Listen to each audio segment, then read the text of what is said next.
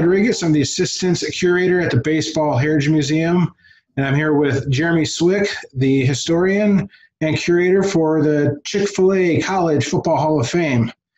And uh, Jeremy's been kind enough to uh, meet up today and uh, tell us a little bit about his position at the College Football Hall of Fame. And um, so, so Jeremy, uh, why don't you uh, start off and uh, tell us a little bit how how this whole COVID nineteen situation has uh, impacted the Chick Fil A College Football Hall of Fame, um, and uh, you know how it looks and addresses its virtual virtual uh, interaction and social media presence. Yeah, Ricardo. First of all, appreciate you for having me on. Uh, also, I mean, really going with the entire COVID nineteen it's really made us shift the way we present, uh, especially on social media.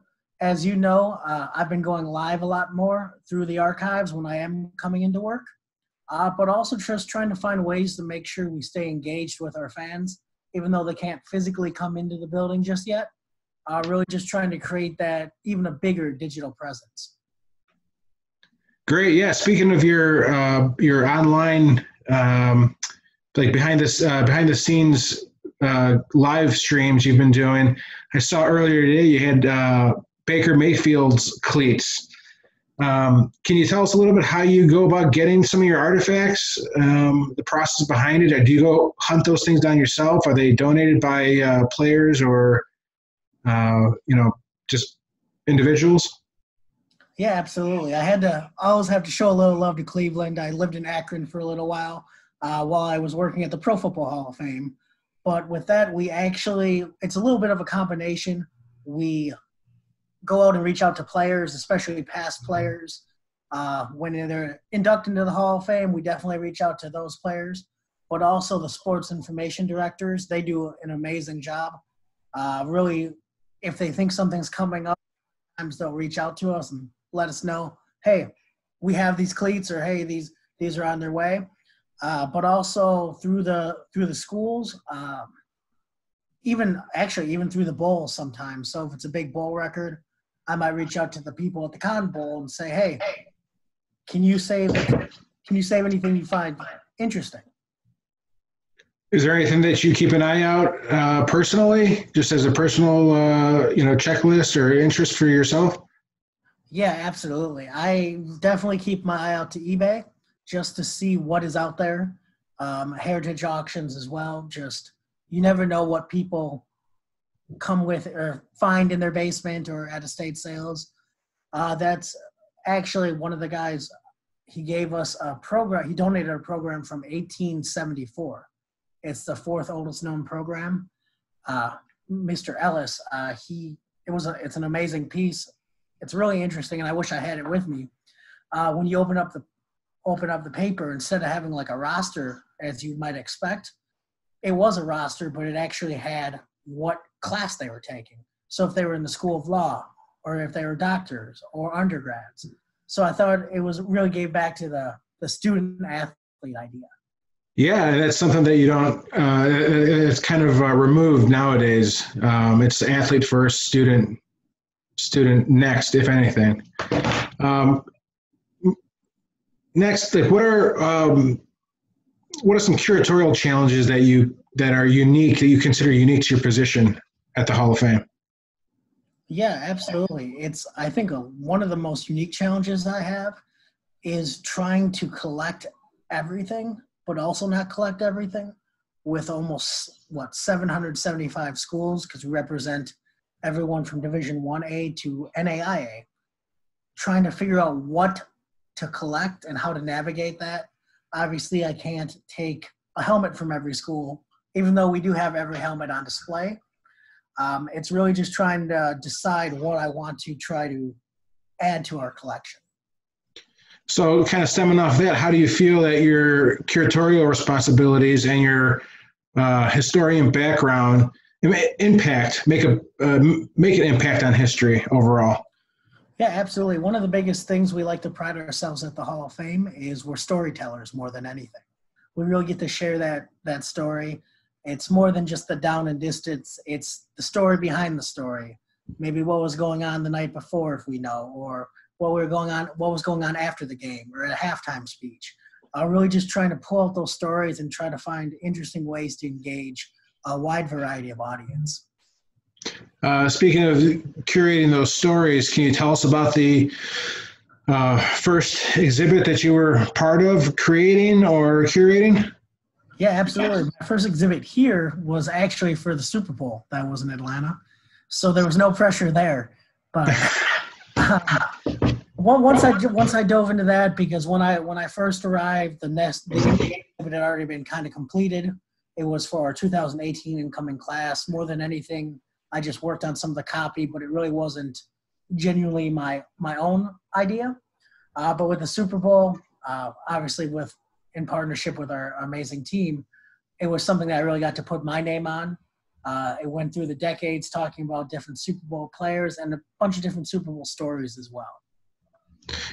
Um, so, what uh, do, you, do you have a favorite favorite favorite artifact or object in in the collection? I know you're a big bobblehead fan, um, but do you have uh, something um, like a prize bobblehead in your collection, your personal collection, or do you have something in the uh, the Hall of Fame collection that you just uh, just really love and love to see or love to exhibit?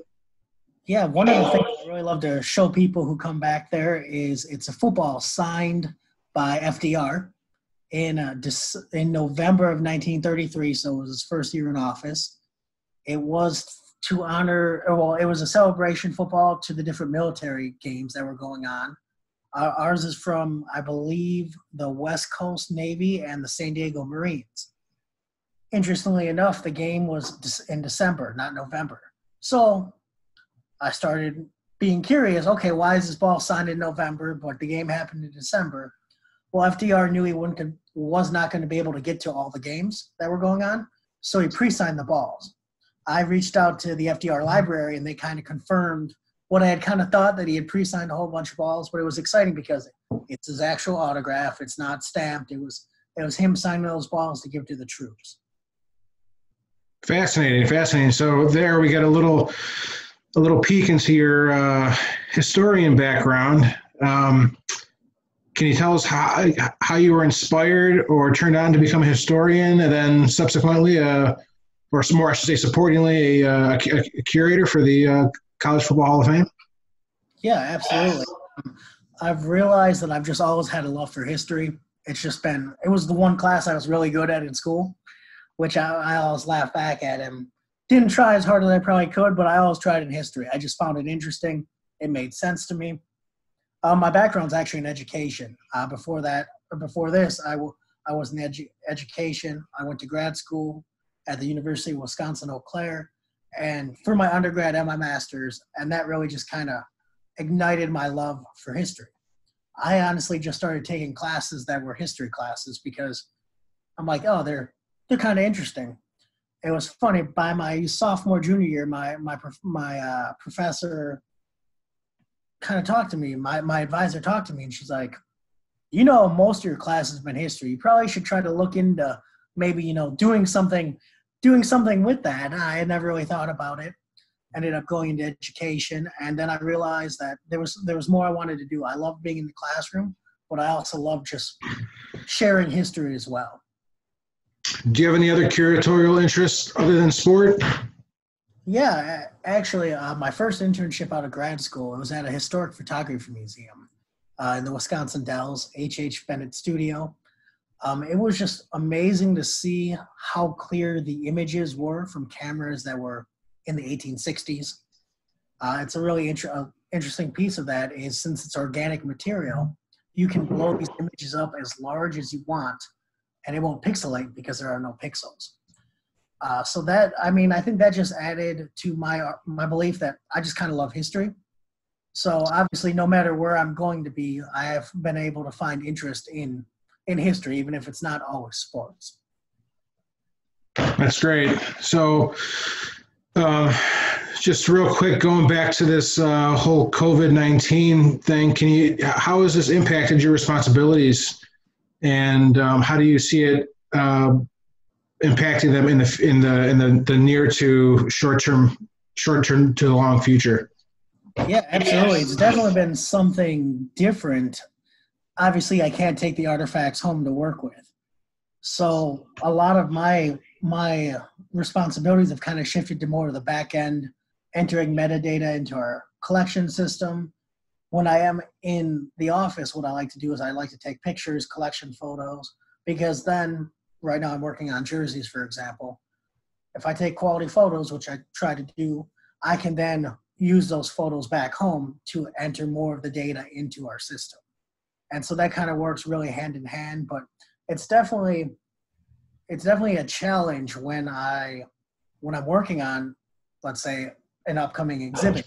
I can't really walk there and go and plan out how I how I typically do. So I think it's really adjusting, but I'm thankful for having a web-based system that I am able to access from anywhere. What kind of equipment do you use uh, as far as taking your pictures?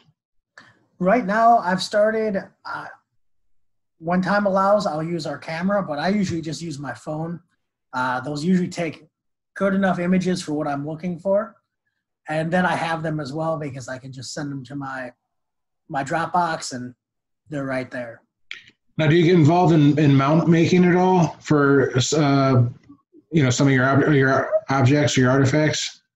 Uh, not typically. We don't really mount a whole lot. We do have some cases that we use. Uh, one interesting part about our museum, we host about 280 or so events a year. So a lot of our cases are mobile, which presents its own own unique set of challenges, but it also is one of those where it can be moved let's say for the temporary space, they're having a big event there. All the cases can move, be moved out. I saw the exhibit you set up in Miami. I think it was. Um, that was that was pretty interesting and pretty nice. You want to tell us a little bit about that? Oh yeah, absolutely. I'm trying to. Okay, so I've done a couple exhibits. One for the NFL draft uh, in uh, Nashville last year, and we kind of mixed that college and football atmosphere. Of course, highlighting guys who had played college ball and we were in Tennessee, so we talked about the Titans a lot. But last year I was in New Orleans for the national championship. And again, just really highlight not only LSU, but also the local schools from New Orleans, Tulane, and schools like that. And so that, I mean, that's a really another fun way to really just share our story with people who might not come to the Hall of Fame all the time. I remember two years ago, we were out in San Jose, and a lot of those people had never been to Atlanta to begin with. So it was cool to share that story, those stories with them as well. Are you working on anything for the NFL draft this year and looking at it differently since they're going to be um, still still holding the draft, but just not having anything live? That's still up in the air. Me and actually the curator at the Pro Football Hall of Fame have been bouncing ideas off each other, kind of the last couple weeks, trying to see how we might be able to incorporate our artifacts and their artifacts and the NFL as a whole. I think it's a it's a new territory. Not everyone really sure which which way we're going to go with it. Well, Jeremy, I think you have a great opportunity to uh, you know make a mark here and do something pretty creative and uh, impactful, and that'll uh, really leave a good impression on uh, the people who get to enjoy it. Uh, wrapping up here, you got any final words or uh, words of inspiration, any tips or tricks for someone who would be interested in becoming a uh, sports historian or sports curator? Yeah, absolutely. I was thinking about this a lot. Uh, one of the biggest things, and something I preach pretty often, it's trust the process.